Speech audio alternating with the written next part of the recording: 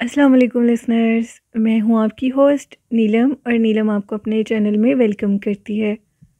शुरू करते हैं आज की स्टोरीज़ अल्लाह का बाबरकत नाम लेकर जो इंतहाई आली रुतबा और बहुत जलील कदर है। अल्लाह पाक की रहमत और करम भरा साया हमेशा हम सब पर बना रहे। आमीन। इसी दुआ के साथ आज की स्टोरीज़ जन्नात के किस्से कहानियों का सिलसिला शुरू करते हैं। लिसनर, आज की पहली खौफनाक कहानी अनम मुनीर ने शेयर की है। जो कि सऊदी अरेबिया में रहती हैं। अनम कहती हैं कि आज से दस, बीस साल पुरानी बात है। तब मेरी जो सास थी, वो सऊदीया में शिफ्ट हुई थी। और तब मतलब उधर के तौर तरीके चेंज थे हर साल इंसान चेंज होता है। तो दस, बीस साल पहले तो बहुत ज़्यादा चेंजिंग थी लाइफ में, ज़िंदगी गुजारने में। मेरी सास ये बताती हैं कि एक चीज़ थी, एक खौफनाक खून खवार मखलूक थी, जो कि कहा जाता था, जिधर से उनके हस्बैंड जिस रूट से गुज़र कर जाते थे, अपने ऑफ़िस के लिए, उधर उस चीज़ को देखा जाता था, वहाँ पर एक बहुत बड़ी बला थी। कुछ लोग कहते थे कि वो कोई चुड़ैल है, क्योंकि अक्सर उसको औरत के रूप में भी उधर देखा गया है। और अक्सर लोग ये कहते थे कि शायद वो कोई रेगिस्तान की बला है जो कि वहाँ पर घूमती है। मेरे हस्बैंड ने ये बताया कि वो जो बला थी, वो एक औरत ही थी, यानी वो एक चुड़ैल थी, एक खून खवार चुड़ैल। एक दफ़ा इस तरह हुआ कि वो वापस आ रहे थे घर के लिए तो उनकी गाड़ी उसी रेगिस्तान के करीब ख़राब हो गई। और जैसे ही वो गाड़ी को ठीक करने के लिए उतरे तो वो क्या देखते हैं कि दूर से लाइट आ रही है, बहुत ऊँची, यानी इतना कर लें कि उसकी जो हाइट होगी वो पंद्रह से सोलह फिट ऊँची होगी। और वो चीज़ बहुत तेज़ी से चलती हुई रेगिस्तान से मेरी तरफ़ आ रही है, बहुत तेज़ी में। मुझे यूँ लग रहा था कि जैसे यूँ मानो कोई बहुत बुल, बुलंद कद का शख्स हो, क्योंकि उसका जो दूर से जसामत थी वो किसी इंसान की लग रही थी। और वो बहुत तेज़ी से बिल्कुल जब मेरे करीब आने लगी तो मैं क्या देखता हूँ? एक औरत है। जिसका कद बहुत लंबा है और उसके माथे में लाइट है। मेरे करीब आते आते उसकी हाइट नॉर्मल हो गई और उसको देखकर मैं जल्दी से गाड़ी में बैठ गया और अल्लाह अकबर के नारे लगाने लगा। इस कदर डर चुका था। मेरा जो सारी बॉडी से इस तरह पसीना टपक रहा था जैसे मेरे ऊपर किसी ने पानी की बाल्टियाँ फेंक दी। मैं बहुत ज़्यादा डर चुका था। वो औरत मेरे देखते देखते गाड़ी के करीब से गुजरी और पहाड़ों की तरफ़ चली गई। न जाने किस चीज़ की वजह से जो मेरी गाड़ी थी, वो मुझे दोबारा से स्टार्ट हुई और ख़ुद ही चल पड़ी। पता नहीं वो मंज़र देखने के लिए मैं उधर रुका था, अल्लाह की तरफ़ से अल्लाह ने मुझे वो चीज़ दिखानी थी, जो कि मैंने देख ली। उसके बाद मेरे हस्बैंड के दोस्त हैं, अनम कहती हैं कि यानी मेरी सास के जो, मेरे ससुर हैं जो, उन्होंने ये बताया कि इधर वो जो हमने अक्सर एक रीच नुमा मखलूक को देखा है, जो कि गाड़ी के साथ भागना शुरू कर देते हैं मगरिब के बाद। और वो चीज़ इस कदर खौफनाक है, उसको देख कर डर लगने लगता है। उसकी आवाज़ इतनी बेहानक है। उसकी आवाज़ ना तो रीछ जैसी है, ना तो किसी और जानवर जैसी है, लेकिन बहुत बेहानक आवाज़ है। और भागते भागते वो साथ जो आवाज़ें आती हैं, उनको सुनकर इंसान का दिल दहल जाता है। सऊदी अरेबिया के, इन रेगिस्तान में बहुत सी मखलूक़ पाई जाती हैं, जो कि इंसान सोच भी नहीं सकता, ऐसी मखलूक़ और वो ये कहते हैं कि ऐसी चीज़ें जो कि हम उनको नहीं देख सकते, और वो अक्सर जो कि जेंट्स होते हैं, वो ऐसी जगहों से रात के टाइम भी गुज़रते हैं, उनका काम होता है तो उनको वो चीज़ें नज़र आ जाती हैं। वो कहते हैं कि वो जो लाइट वाली चीज़ जिसके माथे में एक लाइट थी अनम कहती हैं कि मेरे ससुर ने बताया, वो चीज़, वो औरत, वो क्या चीज़ थी जो कि थी बिल्कुल औरत, लेकिन दूसरी औरतों से बहुत मुख्तलिफ़। उसके नए नक्श, उसका जिसम, उसकी शक्ल बहुत अजीब थी, बहुत लंबी। और देखते देखते जब वो चीज़ नॉर्मल हुई तो मेरे पैरों के नीचे से ज़मीन निकल गई। वो इस कदर बेहानक मंजर था, जिसको आज तक मेरे ससुर भुला नहीं सके। ये एक स्टोरी थी अनम की जो उन्होंने सऊदिया से शेयर की। बहुत शुक्रिया अनम अपनी स्टोरी शेयर करने के लिए। बैठते हैं आज की दूसरी खौफनाक कहानी की तरफ़। आज की दूसरी खौफनाक कहानी मेरे साथ शेयर की है उमेर उबाब ने। उमेर उबाब कहती हैं, मैं आपके साथ एक स्टोरी शेयर करूँगी। हम लोगों के घर की बैक साइड पर एक बहुत पुराना मंदिर है, जो कि बिल्कुल बंद हो चुका है। तोड़ फोड़ का शिकार है और उधर कोई जाता भी नहीं है। कहा जाता है उस मंदिर के अंदर एक चुड़ैल का बसेरा है और वो चुड़ैल अक्सर लोगों को नज़र आती है। वो किसी को कोई नुकसान नहीं देती। एक लड़की है, जो कि अक्सर उन खंडरात में, रात के टाइम हाथ में दिया पकड़े हुए नज़र आती है और न जाने उस मंदिर की सीढ़ियों से ऊपर चढ़कर किधर जाती है। वो घर सॉरी वो जो मंदिर है, वो काफ़ी कदीम है, बहुत कदीम।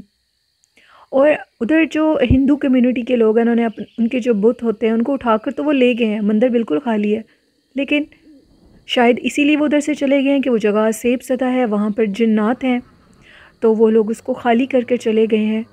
या कुछ लोग ये कहते हैं कि बहुत कदीम जगह होने की वजह से जगह तोड़ फोड़ का शिकार होगी और इंतज़ामिया ने इस चीज़ की तरफ़ इतना ध्यान नहीं दिया, जिसकी वजह से वो लोग यहाँ से मूव कर गए।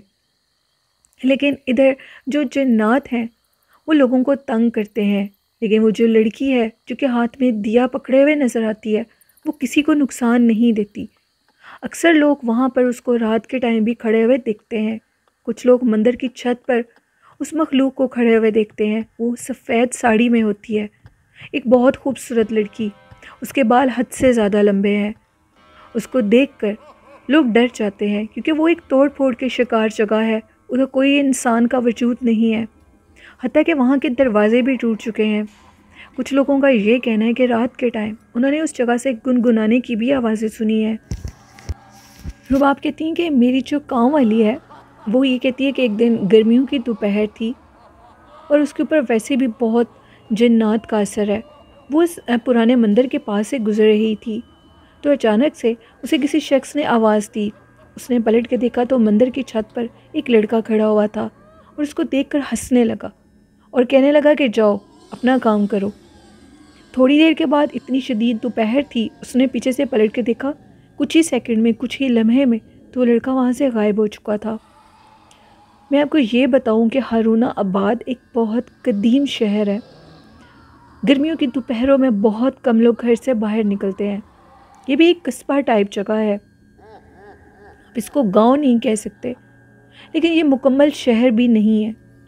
ये एक स्टोरी थी उम्मे रुबाब की, जिन्होंने हारूनाबाद से शेयर की। बहुत शुक्रिया आपका। बढ़ते हैं आज की तीसरी खौफनाक कहानी की तरफ़। आज की तीसरी खौफनाक कहानी यूके से वकास ने शेयर की है। वकास कहते हैं, ये स्टोरी कश्मीर की है और कश्मीर के एक नवाई गाँव की है। वहाँ पर एक शख्स का सालाना यानी उसकी बरसी थी और उधर लोग खाना बांट रहे थे उसके घर वाले। तो क्या देखता है एक शख्स कि सड़क के पार बहुत खूबसूरत दो बच्चे हाथ में एक बर्तन पकड़े हुए चावल मांग रहे हैं। जैसे ही वो शख्स उसको चावल देने के लिए चाहता है तो वो दोनों बच्चे उधर से गायब हो जाते हैं। इस बात को काफ़ी अरसा गुजर गया। तो कुछ दिन के बाद एक शख्स था, जो कि करीबी एक जंगल था, बहुत बड़ा। उस जंगल के करीब से एक शख्स गुज़र रहा था। शाम का टाइम था तो वो क्या देखता है? ढेर सारे बच्चे हैं जो कि उसके सामने खेल रहे हैं और खेलते खेलते गायब हो जाते हैं और फिर नमोदार हो जाते हैं।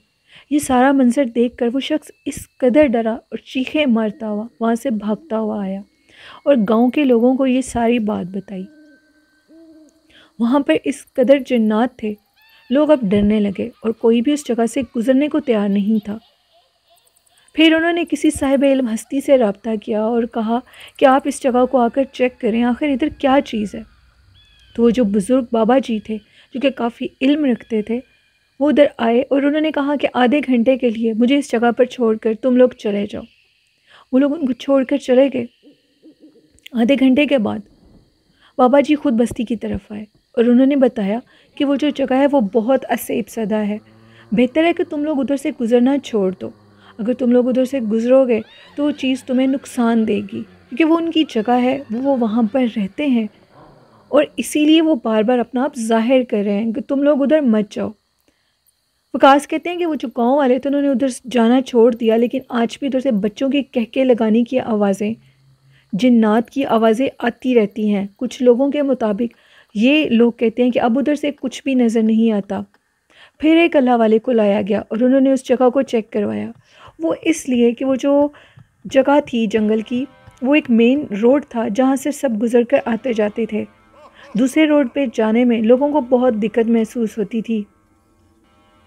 उसके बाद वो ये कहते हैं कि फिर वो शख्स उधर आया, वही बुज़ुर्ग आए और उन्होंने सब कुछ चेक किया तो उन्होंने कहा कि यहाँ पर जन्नात की बस्ती थी, जो कि यहाँ से जा चुके हैं। अब ये जगह बिल्कुल खाली हो चुकी है। आप लोग इधर से गुज़र सकते हैं। फिर उसके बाद वो लोग, वो जो गाँव के लोग थे, उन्होंने उधर से गुज़रना शुरू कर दिया। ये एक स्टोरी थी वकास की, जो उन्होंने यूके से शेयर की। शुक्रिया वकास अपनी स्टोरी शेयर करने के लिए। बढ़ते हैं आज की लास्ट स्टोरी की तरफ़। ये स्टोरी मेरे साथ खुरम ने शेयर की है। खुरम कहते हैं, मैं आपको आज एक खौफनाक वाक्य बताना चाहता हूँ। हम लोगों के यहाँ एक बच्चा था जो कि हमारे घर में काम करता था। अचानक से उस बच्चे की तबीयत बहुत ख़राब होने लगी और वो बच्चा अजीबोगरीब हरकतें करने लगा। हम लोग उसे अक्सर पूरे घर में ढूंढते थे, वो हमें कहीं नज़र नहीं आता था। इतनी गर्मियों के मौसम में मैंने देखा तो ऊपर वाले स्टोर में चारपाई के नीचे छुपा हुआ, ये कह रहा था कि वो शख्स मुझे मार देगा, मुझे बचा लें। मैं बहुत हैरान हुआ, उसकी एज दस से बारह साल थी। मैंने उस बच्चे को उठाया, बड़े प्यार से और उसे नीचे लेकर आया।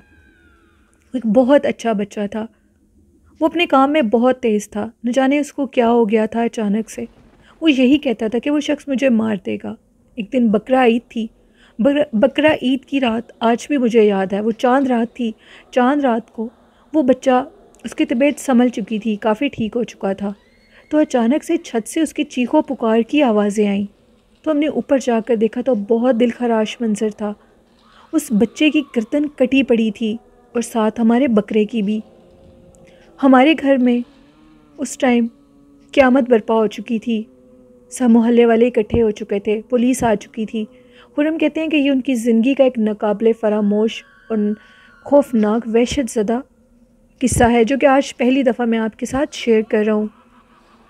खुरम ने बताया कि वो जब उसको ले गए, उस बच्चे की डेड बॉडी को ले जाया गया तो उसकी जो गर्दन थी, उसके ऊपर एक दरिंदा, एक जानवर के मतलब के निशान थे। वो एक कत्ल का केस नहीं था। बहुत से लोग इस चीज़ पर शक कर रहे थे कि शायद हमने उसको कोई नुकसान दिया हो। लेकिन डॉक्टर्स ने जब रिपोर्ट दी, पुलिस की रिपोर्ट के मुताबिक उस बच्चे के साथ बहुत वैशियाना तरीके से उसकी गर्दन को काट दिया गया। उसके बाद हमें यह पता लगा कि हम लोगों की छत पर एक देव का बसेरा है, एक जिन, एक आफत का बसेरा है। जो कि उस बच्चे के ऊपर काबिज हो चुका था। जब साहिब मस्ती को लाया गया तो उन्होंने बताया कि उस बच्चे ने हमारे छत के ऊपर एक दरख्त था, उस दरख्त के नीचे उसने हाजत कर दी, जिसकी वजह से वो जो जिन था वो उस बच्चे के ऊपर सख्त नाराज़ हो गया और उसने उस बच्चे के ऊपर पहले उसको तंग किया, उसके जिसम को अजियत दी और जब वो दोबारा छत पर गया बकरीद की रात को, चाँद रात को, सॉरी तो उस बच्चे की उसने जान ले ली और उसे जान से मार दिया। हम लोगों ने खुरम कहते हैं कि फिल फॉर उस घर को खाली कर दिया, क्योंकि वो मखलूक हमारे घर के शीशों को तोड़ देती थी। हमारे घर में गोश्त आता था आता था तो उसको खा जाता था, वो कच्चा गोश्त खाता था। और उसके बाद वो मखलूक जो भी थी, वो हमारे घर के जो फर्नीचर था उसको भी तोड़ने लगी। कुछ ना कुछ टूट जाता था। कमरे बंद होते थे, अंदर से चीज़ों के टूटने की आवाज़ें आती थी, जिसकी वजह से हम बहुत परेशान थे। हमें ये बताया गया था कि उस घर में एक दियो का बसेरा है। कहा जाता है कि दियो तो जंगलात में रहते हैं, पहाड़ों पर रहते हैं तो वो घर में कैसे आ गए? वो घरों में भी रहते हैं। कहीं बहुत मनहूस और भारी असेब ज़्यादा जो घर होते हैं, उनमें भी वो रहते हैं। उस घर में जितना अरसा रहे, हमारे जो माली हालात थे, वो भी बहुत ख़राब रहते थे। अचानक से काम बने हुए ख़त्म हो जाते थे और चीज़ों पर खून के ड्रॉप्स भी गिरते थे। ये एक स्टोरी थी खुरम की जो उन्होंने लाहौर से शेयर की। बहुत शुक्रिया आपका खुरम। तो लिसनर्स ये थी आज की कुछ खौफनाक कहानियाँ। आप लोगों को कैसी लगी, अपना फ़ीडबैक ज़रूर दिया करें। आप लोग भी अपनी स्टोरीज़ को कमेंट बॉक्स में भी शेयर कर सकते हैं और फेसबुक आईडी पर भी और ईमेल पर भी। मेरे चैनल को ज़्यादा से ज़्यादा सब्सक्राइब करें लाइक करें और शेयर करें, क्योंकि आपकी सपोर्ट मुझे बहुत अच्छी लगती है। मेरे चैनल को इसी तरह सपोर्ट करते रहें। और आज का अच्छा मैसेज अपने वालदे की बात हमेशा माने। जो शख्स अपने वालदे की बात मानता है, वो कभी ज़िंदगी में नाकाम नहीं हो सकता। इसी के साथ अपनी होस्ट नीलम यासीन को इजाज़त दीजिए।